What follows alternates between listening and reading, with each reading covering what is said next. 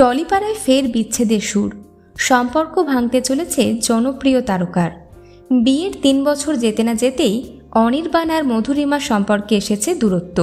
এমনই গুঞ্জন শোনা যাচ্ছে টলিপাড়ায়।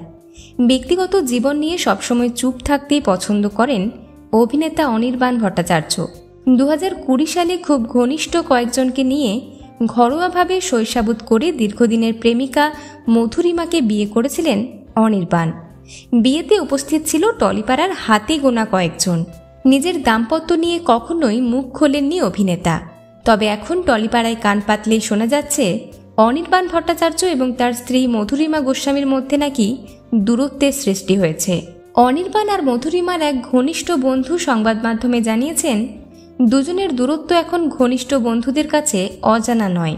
আসলে ব্যক্তিগত জীবন নিয়ে প্রকাশ্যে তারা কোনো মন্তব্য না করলে হঠাৎ করে কিছু আন্দাজ করা অনুচিত।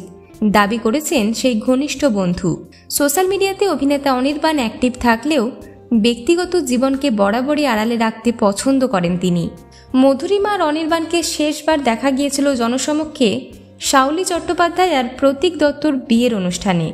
অনির্বাণ মধুরিমার সম্পর্কে দূরত্ব প্রসঙ্গে সংবাদ মাধ্যমের তরফে মধুরিমার সঙ্গে যোগাযোগ করা হলে মধুরিমা স্পষ্ট জানিয়ে দিয়েছেন এই প্রসঙ্গে কোনো মন্তব্য করবেন না তিনি।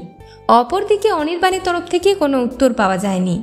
এই মুহূর্তে অনির্বাণ ব্যস্ত রয়েছে তার আগামী ছবি দশম অবতারের প্রচার নিয়ে। বিনোদন জগতের আর অন্যান্য খবর নিয়ে ফিরছি, জুড়ে থাকুন আমাদের সঙ্গে।